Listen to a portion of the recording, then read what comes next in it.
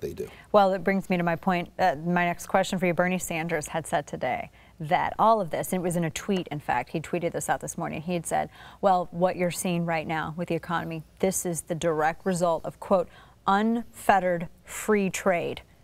Yeah. What do you say to that? Well, am I allowed to say moron on the show? Oh, well, completely. Go. I am? Okay, I, yeah, if I'm not allowed say- to, I won't say No, no, no, by all means. Okay. The guy's a moron, all right? He's an economic idiot because that makes no sense whatsoever. And every single thing that we see around here has come from capitalism and competition. Right. And anybody who says stuff like that just Right. I mean,